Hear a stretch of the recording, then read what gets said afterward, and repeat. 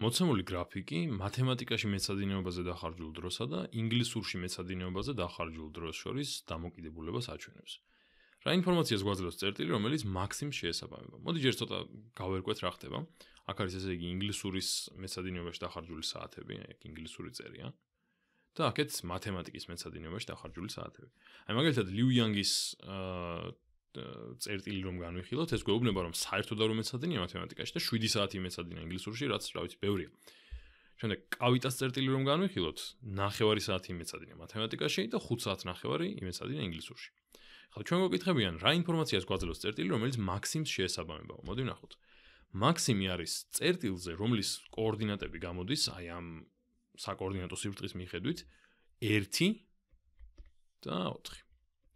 ახლა 1 არის x ღერძის შესაბამისი და 4 არის y ღერძის შესაბამისი. x ღერძზე მათემატიკა გვაქვს და y ღერძზე ინგლისური, ამიტომ გამოდის რომ მაქსიმისთვის, შემოკლებით max დავწერ, მათემატიკა მათემატიკაში იმეცადინა მაქსიმა 1 საათი და ინგლისურში იმეცადინა 4 საათი.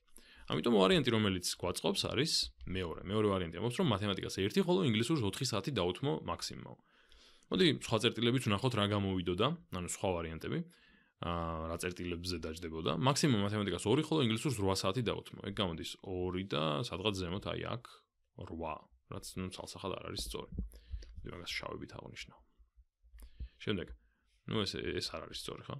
მე აა 4 საათი მათემატიკას 1 ინგლისურს. 4 საათი აქ არც ჩანს, საერთოდ. სადღაც აი აქ იქნება და 1 ინგლისურს. ანუ ეგ წერტილი აღმოჩნდებოდა სადღაც აი აქ. ნუ ესეც ესეც ვერაა სწორი. და ბოლოს 5 საათი მათემატიკას და 5 ინგლისურს. ეგ აღმოჩნდებოდა კიდე უფრო შორს, ეკრანზეც აღარ მეტევა და სადღაც აი ამ ამ სიმაღლეზე დაახლოებით. ასე რომ აშკარად მეორე ვარიანტი არის აქ სწორი.